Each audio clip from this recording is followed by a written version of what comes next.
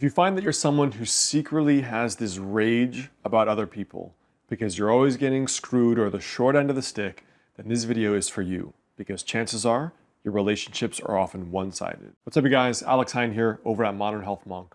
So before we jump into this video, I've put together a free journaling worksheet to reflect on whatever your dream life is and what you want to build.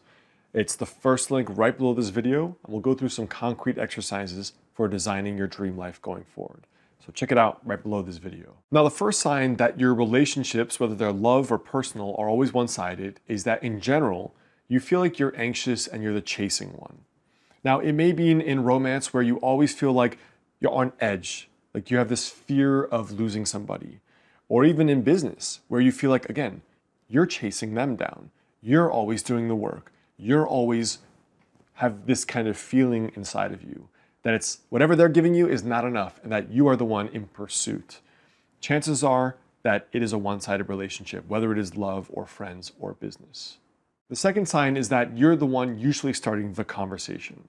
Now, the conversation in romance could be, we have a problem, can we work on this or at least talk about it? It could be something as simple as, this is what's bothering me, can we talk about it? In friendship, it could literally be, you're the one always asking the other person to hang out. And it's always you reaching out, always you being like, what are we doing this weekend? It's always you being like, hey, want to grab dinner? It's always you. And you're like, when are they going to reach out? It doesn't really feel like it's two-way street. The third sign is you're the one who's growth oriented or getting better. So very often in relationships, you'll have one person who's always getting better and one person who maybe isn't. And certainly in romantic relationships, it tends to be a one-sided relationship when you tend to see one person, let's say the girl, who's always like, let's do this, babe. Let's try this new thing. Let's get this new food. Let's go to this restaurant. Or specifically growth oriented, let's do a class. Let's do a challenge.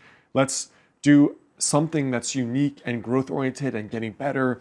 And if you're always bringing up the growth, chances are it's one sided and you're the one who's carrying the team.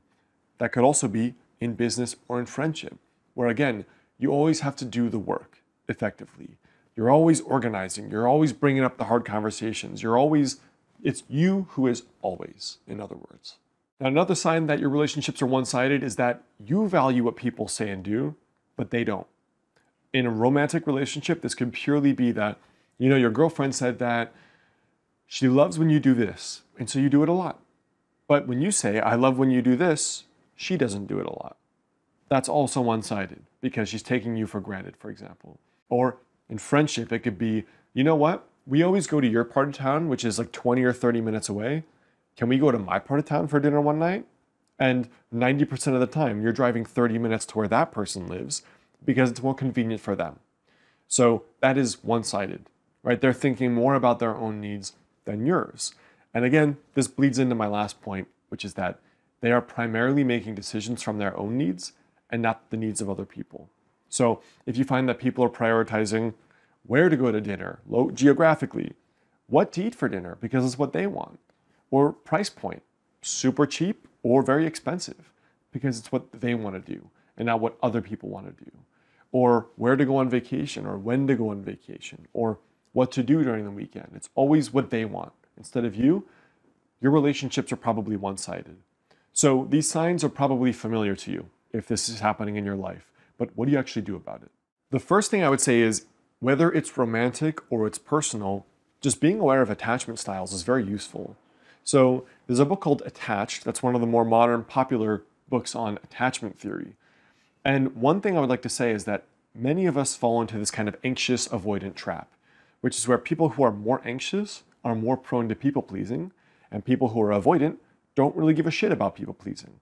And so very often these two types end up being paired because the anxious is trying to get something from the avoidant and the avoidant is trying to get away from the anxious person.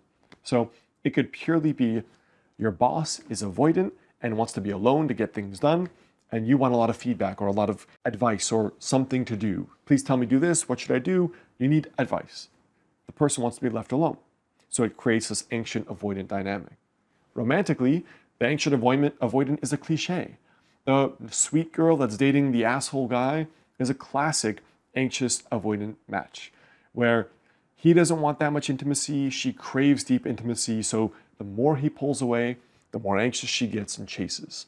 And it creates an unhealthy dynamic where both people are ultimately not fulfilled and certainly do not create any healing or any psychological empowerment or evolution. So, understanding where you are regarding attachment style affects you both personally and professionally. Now, the second thing is being aware of self confidence.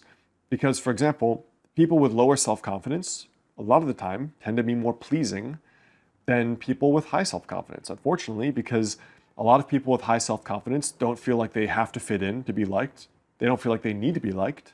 And frankly, they are more likely to be assertive and do what they want as opposed to feeling anxious and wanting to fit in and please and caring what other people think. Now, it's not a one to one correlation, but very often, a person with a strong sense of self, with a secure attachment style, doesn't strongly care what other people think. And so they're more free to live and do what they actually want, which will lead to you getting really more of what you need in your personal life and your professional life. So you're a lot less likely to tolerate bad behavior if you have healthy self esteem. And that's really the bottom line for self esteem. But in my opinion, the bottom line is always going to be the same.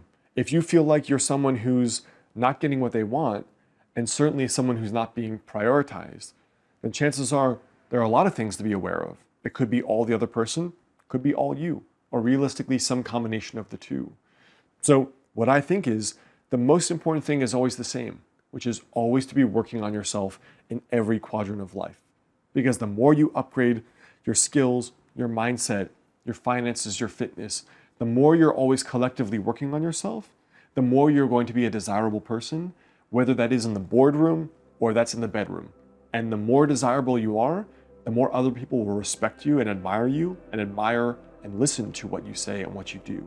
So, the bottom line being that people are more inclined to pay attention to you and therefore respect what you're saying instead of devaluing it. So, those are the three things I'd recommend if you find that a lot of your relationships are one sided. Always looking in and self evaluating and seeing what you can work on. All right, guys, that's what I have for today. Check out the journaling worksheet below this video, and I'll see you soon.